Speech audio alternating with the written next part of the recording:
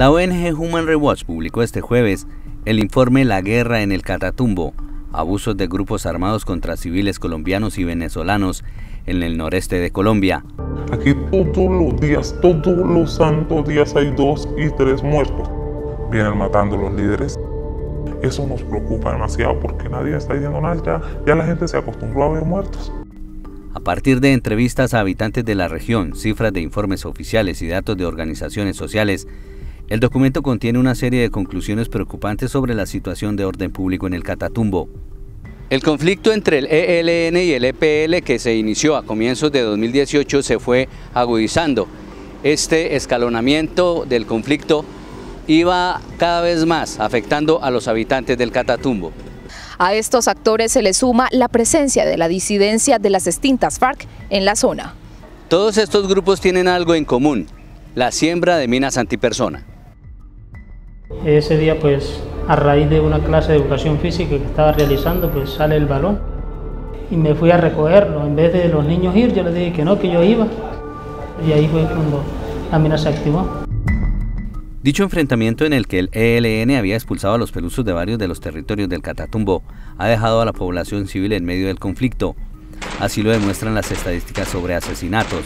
Las tasas de homicidios en la zona han aumentado vertiginosamente en los últimos años tras la salida de las FARC.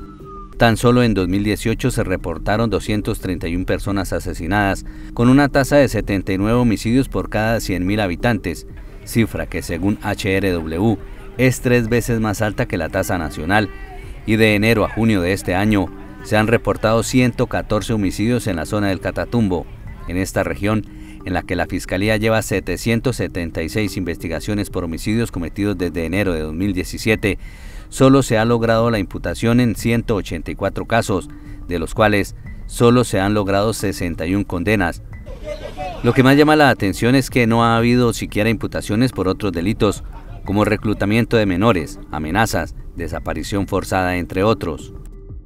Pero los homicidios no son las únicas acciones violentas que aquejan a las poblaciones del Catatumbo. Según el informe, también se cometen abusos en contra de la población civil como desapariciones, reclutamiento infantil y desplazamiento. En este último tema se sabe que 40.000 personas han sido desplazadas. Hay nuevas víctimas de artefactos explosivos improvisados y mucha atención. Se conocen 37 casos de abuso sexual en el marco del conflicto. La violencia sexual es uno de los crímenes con más subregistro en esta parte del norte de Santander. Según la unidad de víctimas, entre enero de 2017 y mayo de 2019 se han reportado 41 casos de delitos sexuales en el Catatumbo.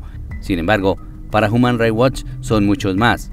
Entre las barreras para denunciar este tipo de delitos está el maltrato de algunas autoridades, las dificultades para presentar pruebas, derivaciones ineficaces, obstáculos económicos y temor a presentar denuncias miedos que se ve acrecentado por las posibles represalias que puedan tomar estos grupos armados.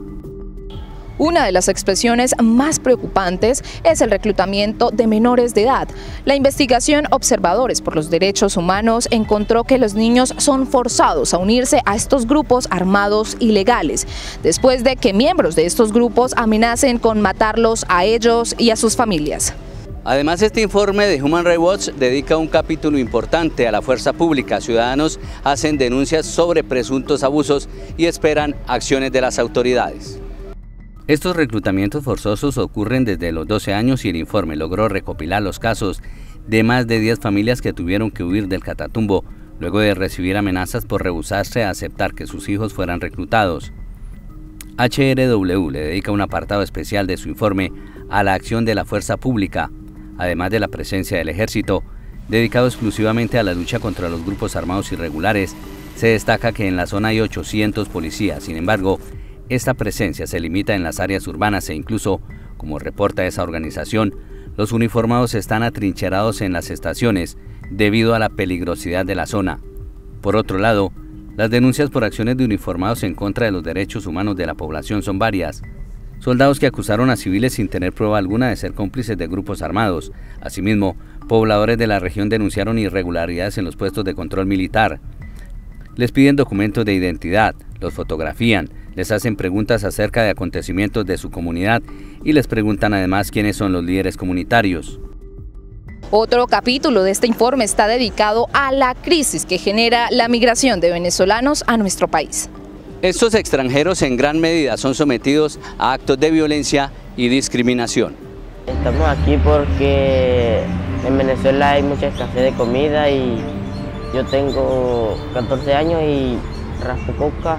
Hay unos niños de 8 años que, que también raspan coca. A toda esta crisis de orden público se suma la llegada de cientos de venezolanos. HRW advierte que la falta de controles migratorios, así como el desconocimiento de la población migrante para acudir a las instituciones a denunciar los abusos de los que son víctimas, dificulta tanto tener un registro de las formas de violencia a las que son sometidos, como la posibilidad de que estos migrantes tengan acceso a formas de reparación. Asimismo, por el temor a ser deportados, muchos migrantes deciden guardar silencio y omiten denunciar los vejámenes a los que han sido expuestos.